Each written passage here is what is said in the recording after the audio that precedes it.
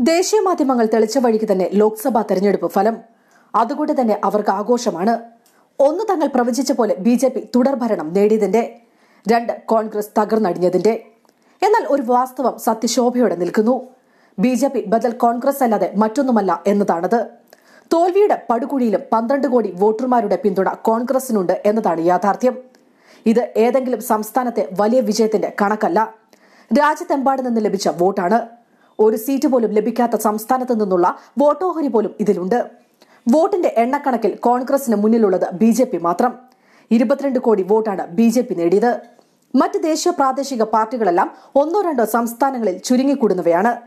പ്രാദേശിക പാർട്ടികളാകട്ടെ കുടുംബാധിപത്യത്തിൽ അഭിരമിച്ച് ദേശീയ വീക്ഷണമില്ലാതെ ഒതുങ്ങിക്കൂടുന്നവരും. കോൺഗ്രസ് ഇല്ലാതായാൽ അനന്ത തുടർഭരണം നരേന്ദ്രമോദിയും അമിത്ഷായും സ്വപ്നം കാണുന്നു. പിന്നെ പ്രാദേശിക പാർട്ടികളെ വിഴുങ്ങി ഇന്ത്യയെ തങ്ങളുടെ വഴിക്കാക്കാം. ഇതിനുള്ള ഏക തടസ്സം തോൽവിയിലും കോൺഗ്രസിനെ കൈവിടാത്ത ജനങ്ങളാണ്. നൂറ്റി മുപ്പത്തിനാല് വർഷത്തെ പാരമ്പര്യമുള്ള പാർട്ടിയാണ് കോൺഗ്രസ്. ചരിത്രത്തിൽ പാർട്ടിക്ക് വലിയ തിരിച്ചടികൾ ഉണ്ടായിട്ടുണ്ടെന്ന് കാണാം. ആയിരത്തി തൊള്ളായിരത്തി അൻപത്തിയൊന്നിലും അറുപത്തിയൊൻപതിലും എഴുപത്തിയേഴിലുമൊക്കെ അങ്ങനെ സംഭവിച്ചിട്ടുണ്ട്. എന്നാൽ തിരിച്ചടി നേരിട്ടപ്പോഴൊക്കെ ഉയർത്തെഴുന്നേറ്റ ചരിത്രമാണ് പാർട്ടിക്കുള്ളത്. നെഹ്റുവിലൂടെയും ഇന്ദിരാഗാന്ധിയിലൂടെയും ഒക്കെയാണ് സംഭവിച്ചിട്ടുള്ളത്. ഇന്ന് കോൺഗ്രസ് തുടർച്ചയായ രണ്ട് തിരിച്ചടികൾ നേരിട്ടിരിക്കുകയാണ്. രണ്ടായിരത്തി പതിനാലിലും രണ്ടായിരത്തി പത്തൊൻപതിലും കോൺഗ്രസിന്റെ അധ്യക്ഷൻ രാഹുൽ ഗാന്ധി ഒരു നേതാവായി രാഷ്ട്രീയ വൈരികളുടെ പോലും പ്രശംസകൾ നേടിയിരുന്ന സമയത്താണ് തിരിച്ചടി. അതുകൊണ്ട് രാഹുൽ ഗാന്ധി രാഷ്ട്രീയം വെടിഞ്ഞ് വനവാസത്തെ പുൽകണമെന്ന് അർത്ഥമില്ല. മക്കൾ രാഷ്ട്രീയത്തെക്കുറിച്ച് കോൺഗ്രസിനെ കുറ്റം പറയുന്നവർക്ക് ഒരു കണക്ക് നൽകാം. എച്ച് ഡബ്ല്യു ന്യൂസ് നടത്തിയ ഒരു സർവേയിൽ പറയുന്നത് ബി ജെ പിയും ഇരുപത്തിരണ്ട് ശതമാനം സീറ്റുകളും നൽകിയത് നേതാക്കളുടെ ബന്ധുക്കൾക്കാണ് എന്നതാണ്.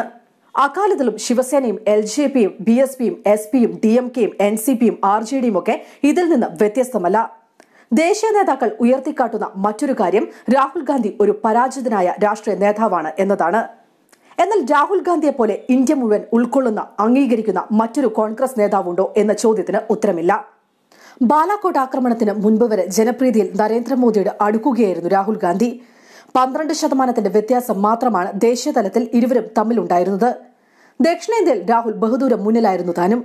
മോദിയും അമിത്ഷായും അജയരാണെന്ന് ആരും കരുതേണ്ടതില്ല എന്ന് ഡിസംബർ രണ്ടായിരത്തി പതിനെട്ടിലെ ബി ജെ പി പരാജയം രുചിച്ച നിയമസഭാ തെരഞ്ഞെടുപ്പുകൾ മാത്രം നോക്കിയാൽ മതി. യഥാർത്ഥത്തിൽ രാഹുൽ ഗാന്ധി പരാജയപ്പെട്ടിട്ടില്ല. കോൺഗ്രസ് മുന്നോട്ട് വെച്ച ആശയങ്ങളെ വോട്ടർമാർ ഗൌരവമായി കണ്ടില്ല എന്നതാണ് യാഥാർത്ഥ്യം. കോൺഗ്രസ് അടക്കമുള്ള പുരോഗമന പ്രസ്ഥാനങ്ങൾ മുന്നോട്ട് വയ്ക്കുന്ന ലിബറൽ മൂല്യങ്ങൾ മതേതരത്വം എല്ലാവരെയും ഉൾക്കൊള്ളൽ ഫെഡറലിസം പാവങ്ങളോടുള്ള ദയാവായ്പ് എന്നിവയൊക്കെ വോട്ടർമാർ മനസ്സിലാക്കാതെ പോയി. അല്ലെങ്കിൽ പുതിയ ഇന്ത്യയിൽ ഈ വാക്കുകൾ ഒരർത്ഥത്തിൽ അശ്ലീലമാണ്.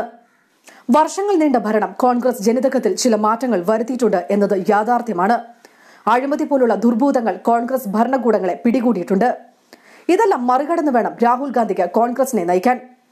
രണ്ടാമത്തേതും പ്രമുഖവുമായ രാഹുൽ ഗാന്ധി നേരിടുന്ന വെല്ലുവിളി ഉത്സുകരായി ജയിച്ചു നിൽക്കുന്ന ഹിന്ദു പതാക വാഹകരെ ഫലപ്രദമായി നേരിടുക എന്നതാണ്.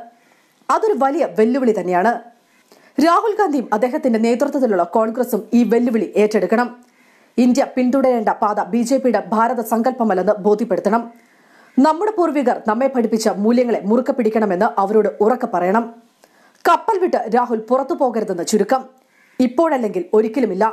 മോദി പ്രഭാവത്തെയും അമിത്ഷാ തന്ത്രങ്ങളെയും മറികടന്ന ചരിത്രം രാഹുലിനുണ്ട്. വേലിയേറ്റത്തിന് വേലിയിറക്കവുമുണ്ട്.